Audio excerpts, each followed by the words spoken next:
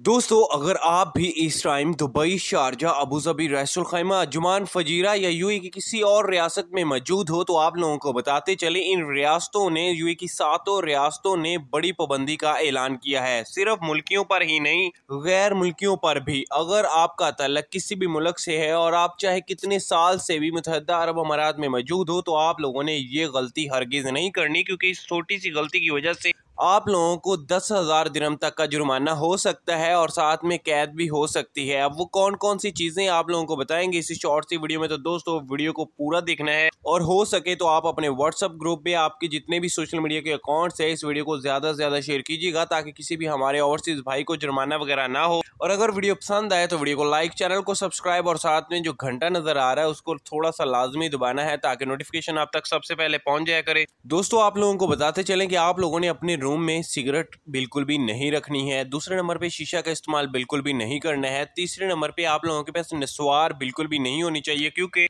Crackdown शुरू हो चुका है, छापे मारे जा रहे हैं लोगों के कैंपों में, लोगों के घरों में। अगर आपकी चीज़ों, आपकी जगहों पे ये चीज़ें इस्तेमाल होती हुई नज़र आई तो आप लोगों को पकड़ लिया